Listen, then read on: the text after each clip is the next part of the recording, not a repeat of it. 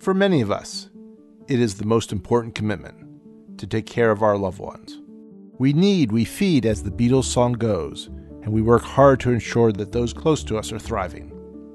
Today, there are 53 million people taking care of their parents, neighbors, and friends. And there are 53 million stories. From the Stanford Center on Longevity, this is When I'm 64, the podcast for caregivers. I'm your host, Ken Stern. Today, we take a close look at those who care for our wounded warriors and help them manage the challenges they face when they return home. Hey, what have you been up to? we actually spoke Tuesday. Was it Tuesday? Yep. Okay. Oh my gosh, it's already been a long week, hasn't it? I know, but you've got so much going on. That conversation might sound like something you'd hear between two good friends, but what we're listening to is an impromptu counseling session provided by an organization called Operation Family Caregiver, or OFC for short. It was started by the Rosalynn Carter Institute for Caregivers to support those who take care of our veterans and active duty military. Finding a group of caregivers like Operation Family Caregiver, if it's helped me be able to speak about what I'm going through in a non judgmental area. That's Shanna Morin. She's a caregiver times six. She takes care of her husband who suffers from PTSD, traumatic brain injury, and a host of injuries from burn pits, a method the military used for waste disposal that has been linked to a multitude of health problems. She also takes care of their five children, runs a business from her home, and to top it all off, she just enlisted in the Space Force, reporting for basic training in early February. Shanna, joined here by her OFC caregiver coach, Dee Blazcyck, explains how she realized she needed help.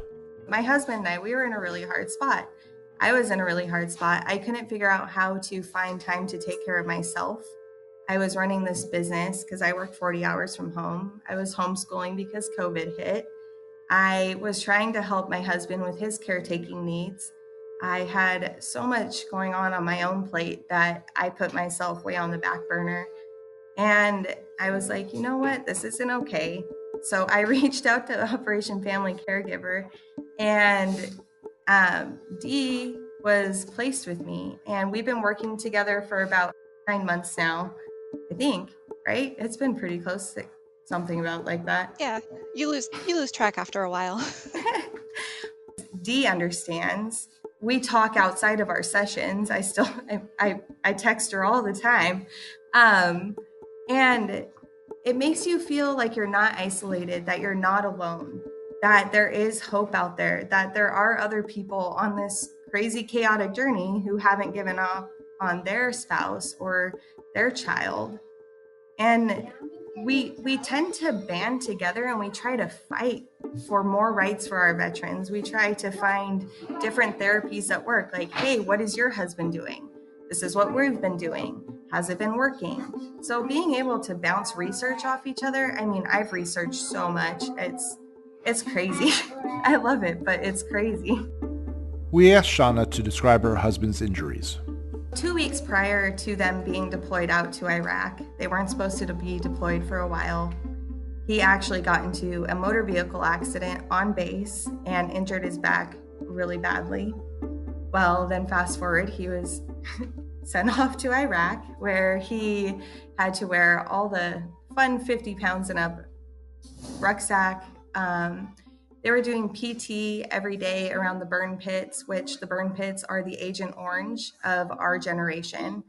And that has caused a lot of debilitating problems from his guts um, to his heart and lungs, which actually in 2018 caused him to lose his job as a commercial diver because he they thought he went into cardiac arrest.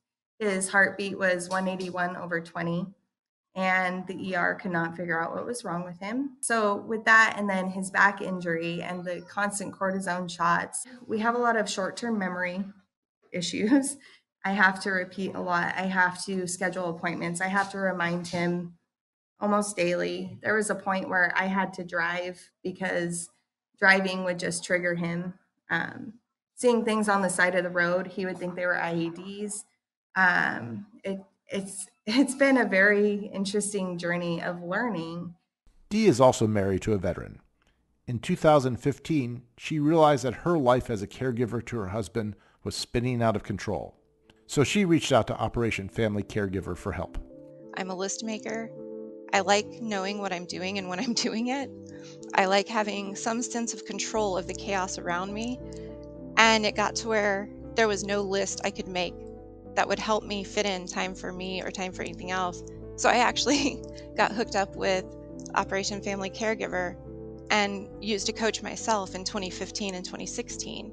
So that's how I kind of came into that. And now, with my husband completely out of the military, luckily we've already had the VA um, confirm his PTSD and his TBI and all the other fun body aches and pains, the burn pit damage to his lungs. So that we don't have to fight, thank goodness. But the biggest challenges while he was still in was getting someone to listen to me because a lot of that happened before the protocols for TBI were made. So if he wasn't unconscious for an hour, he wasn't going to be medevaced. You just woke him up, you move on about your day like nothing happened. If it's not bleeding, there's no visible bones sticking out, you go back to duty. That's what you do. So, as we got further along in his career, trying to find people to get these diagnoses, because as his wife, I'm seeing the forgetfulness, the irritability, um, his lack of ability to breathe at night. He has severe sleep apnea. And they told him, oh, that's no problem. It's like, no, when you quit breathing, that's a big problem. That's pretty life sustaining there. but it, it was just trying to get the supports and trying to get the help and finding resources that would work. But I think social support for me was the biggest. On top of finding all of his stuff, there was nothing for me. Being a military caregiver, you go through things that the majority of the population, no matter how old they live to be or what their experiences are, they will never have these injuries ever.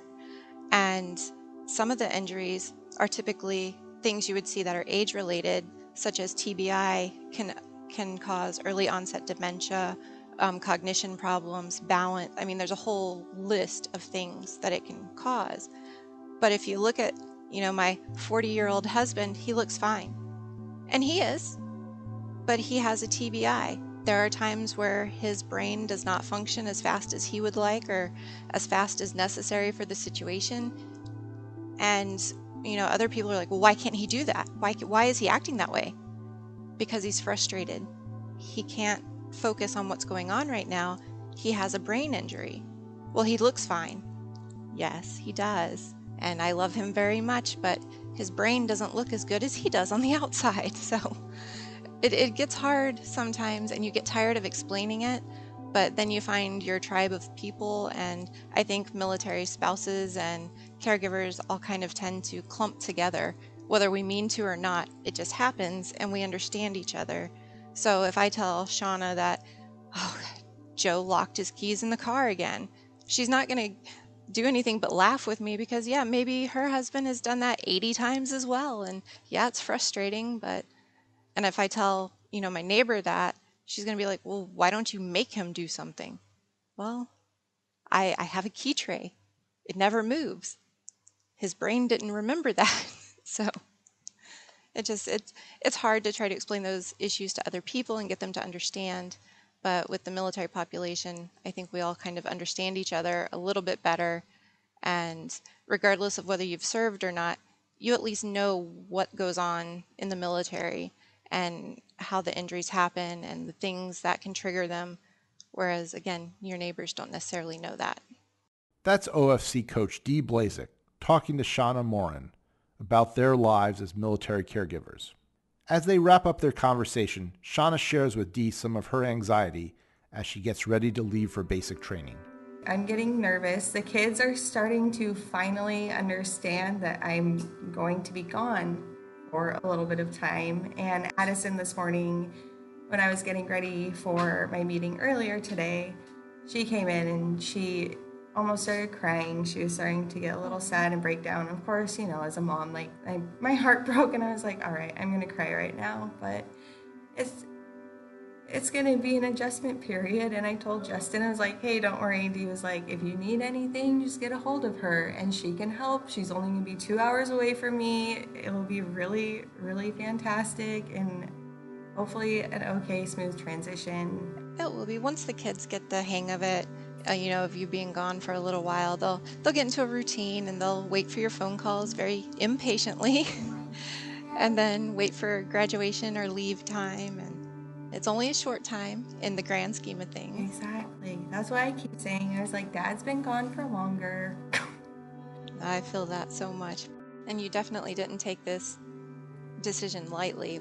I think just from the short time I've known you, that I think finding your purpose and something to fulfill you is really going to help you because whether you like the military or not, stay in for the rest of your career 20 years or get out after one tour, you're going to at least know you could do it, you did it, and now I can move on to something else.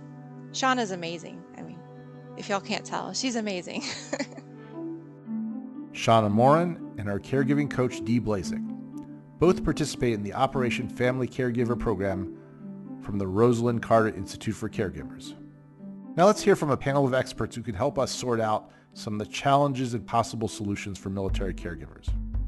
Conwell Smith is the director of Operation Family Caregiver at the Rosalynn Carter Institute, and Rajeev Ramchand is a senior behavioral scientist at the RAND Corporation and a psychiatric epidemiologist.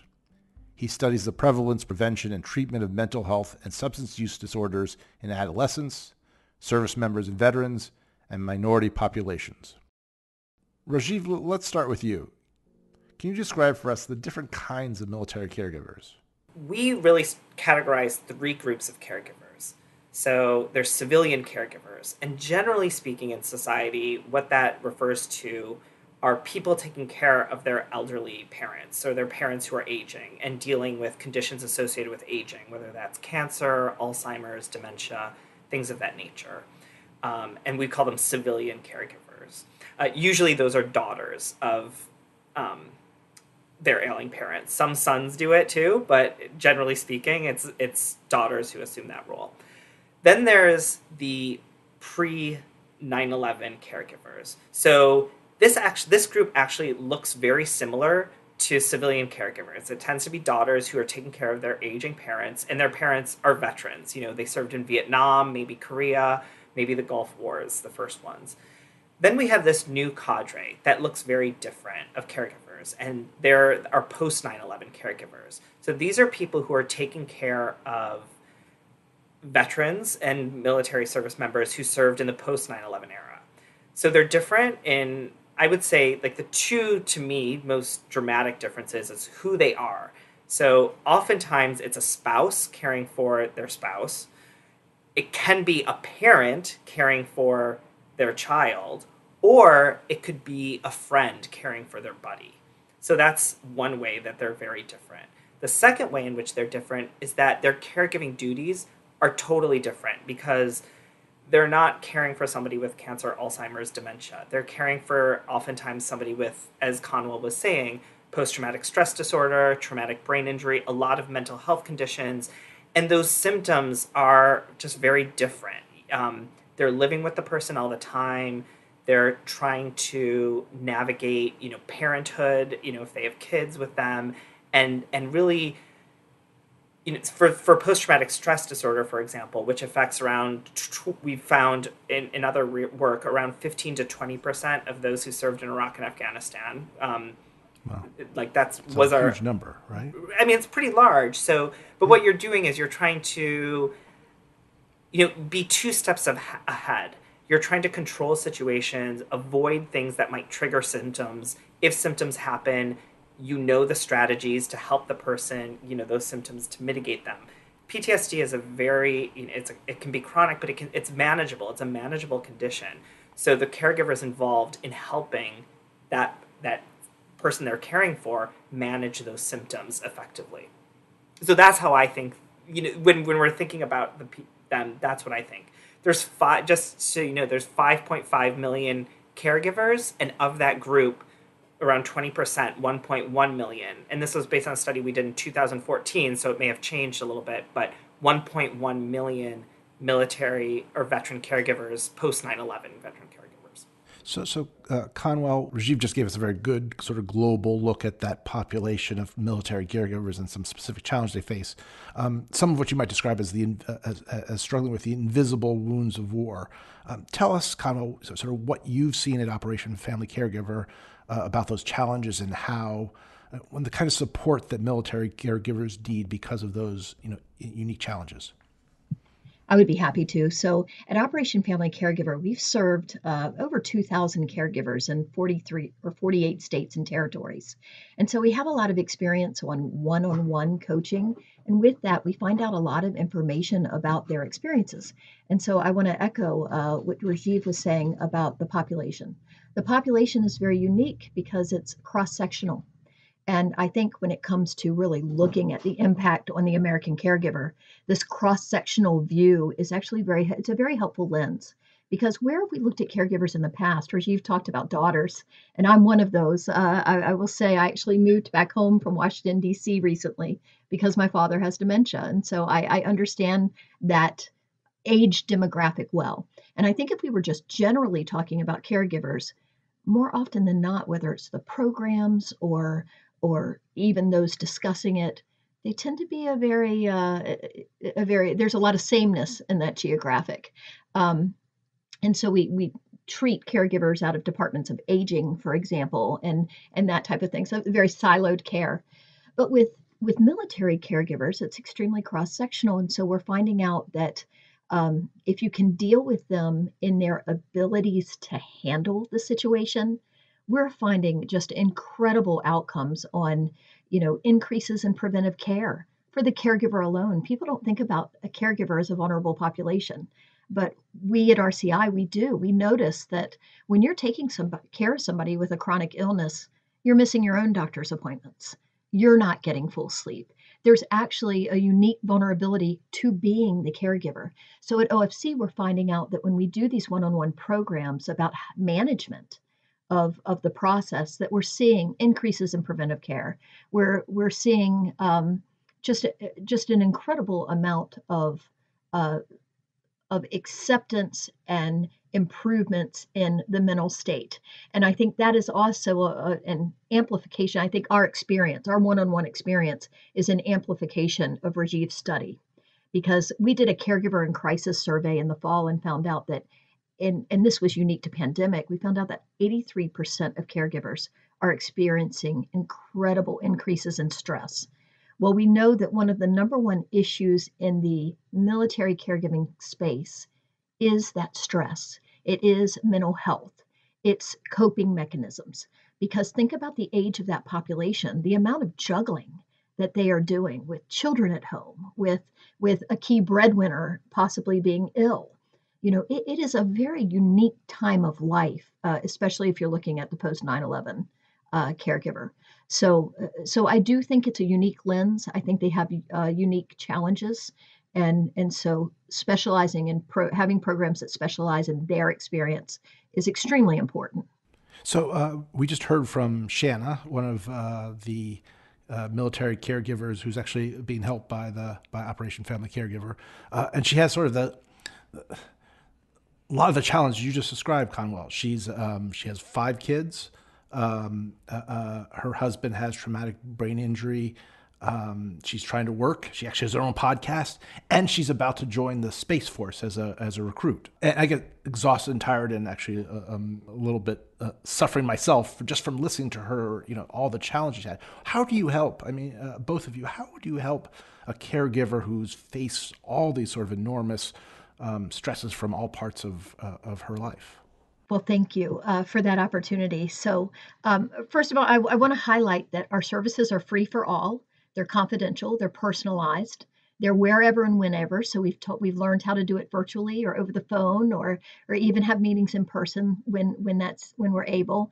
And our one on ones are long lasting. I mean, we're talking about a six to eight month process of numerous meetings and follow ups and tools. So we're really working with uh, with a procedure that we're uh, we're doing role modeling and a, a, number of services that kind of put us in the situation. And we're trying to be, when I say personalized, we're trying to make sure that we're responding to that unique caregiver's needs or, or difficulties.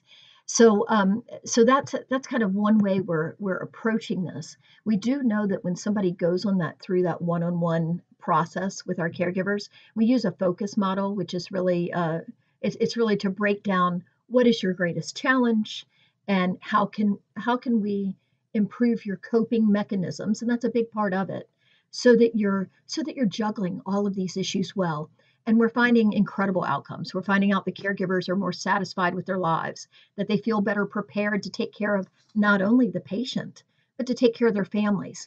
And they're having fewer health health complaints after going through our program. Now, I, I do want to say right now, I don't know if it is a sign of the times with COVID or if it's because the VA is really is really stepping up their caregiver support program. But to give you an idea of what the demand is right now, in all of last year, we, we have seen in January almost the same numbers of referrals that we saw in all of 2020. I mean, think about that one month. And we are, it, it, it is, uh, yeah. it is both um, an opportunity and a challenge for a small organization such as ours.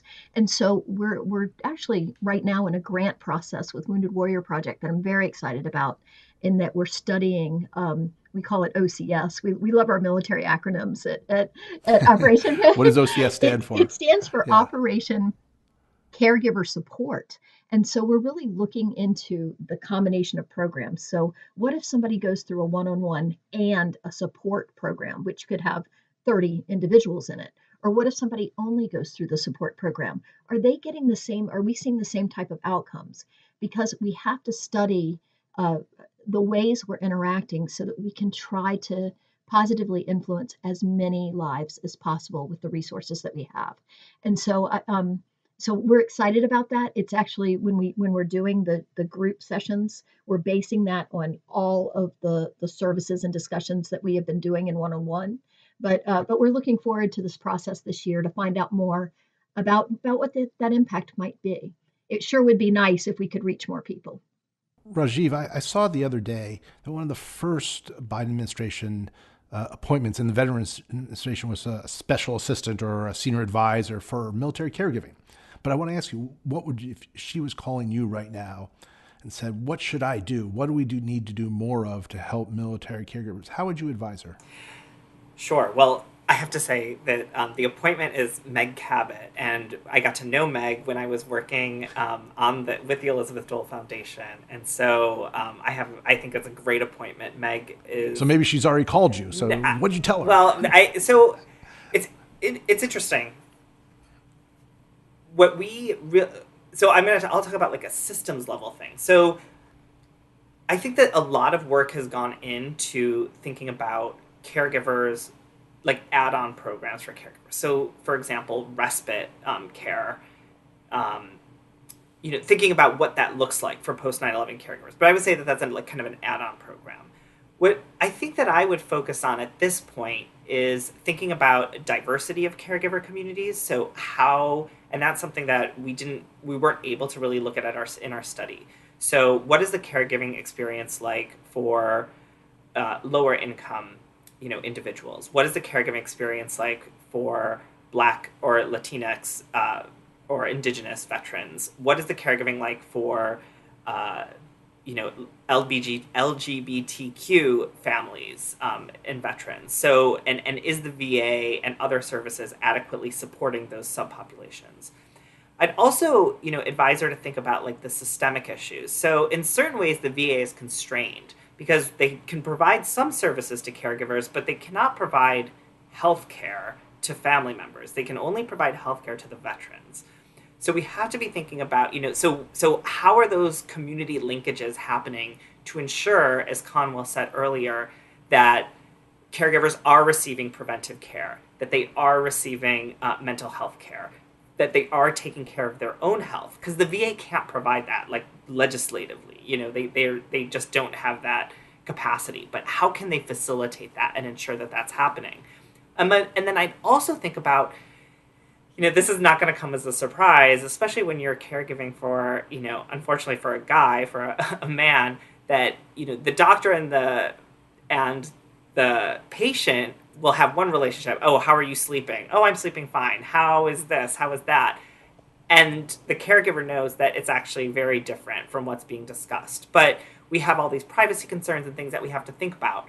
So I would really be thinking about how can you include caregivers in the delivery of care so that they can provide insights to the provider and that the provider can help them with some of these symptoms. And just so baking caregiver support in to existing systems of care, if that makes if that makes sense. But doing so in a way that respects the patient's um, privacy and confidentiality, but just doing it in a vein that can really um, promote discussion. So I think that that's really important.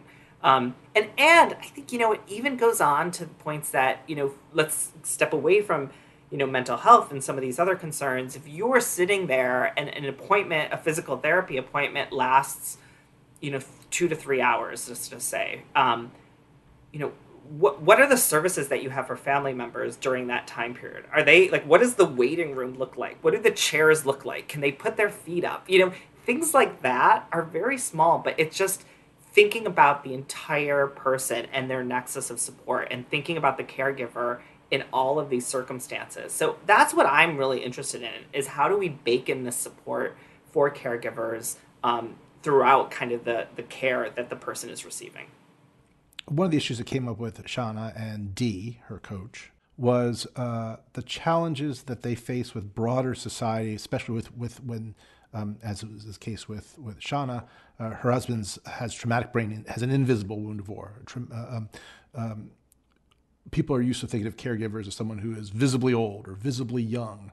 Um, but her husband doesn't look any different than any other able bodied person, even though he has got uh, significant challenges. Um, how, how have you observed sort of the challenges that military caregivers face, you know, who are dealing with invisible wounds of war, face in broader society with business, with, with bosses and jobs and society as a whole who may not quite understand the challenges they're facing?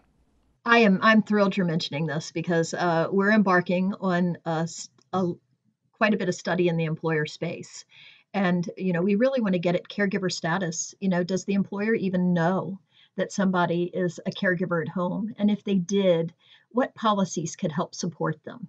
Uh, that can be absorbed in that HR and employer space. So uh, this gets into the realm of what we don't know. What we do know is that uh, that oftentimes a caregiver is forced to change their uh, their career landscape. Again, I'm an example of this. Uh, I ended up uh, going from being in house somewhere to hanging my own shingle just so that I could have the flexibility to be home and not have that regret of not being there for a parent. So, but what we know about if you leave the workplace, we know how difficult it is to get back into it.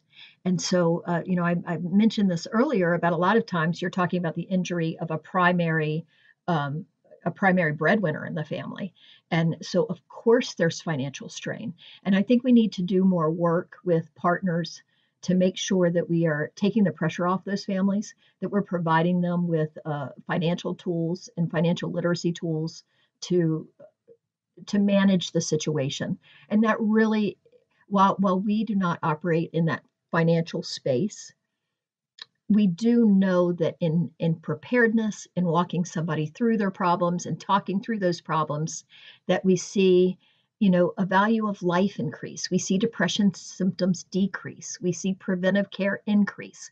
And so we want to be a part of all of those solutions. And we can only be that if we start answering those questions that we don't quite know the answer to just yet. And we get the engagement of insurers employers providers uh, the system of healthcare. We have to get everybody to, to walk in lockstep to make this situation better for families. That's Conwell Smith. She's the Director of Operation Family Caregiver at the Rosalynn Carter Institute, and Rajeev Ramchand, who is a Senior Behavioral Scientist at the RAND Corporation. Be sure to check out Shanna's podcast, Behind the Service, about her life as a military spouse and caregiver. Carrie Thompson is the senior producer of When I'm 64, and Ava Ahmed Ahmedbegi is our associate producer. Special thanks to the Elizabeth Dole Foundation for their help with this episode. Please like us on iTunes and leave us a review. You can find out more about us by visiting our website, longevity.stanford.edu. You've been listening to When I'm 64, the podcast for caregivers. Thanks for joining us. I'm your host, Ken Stern.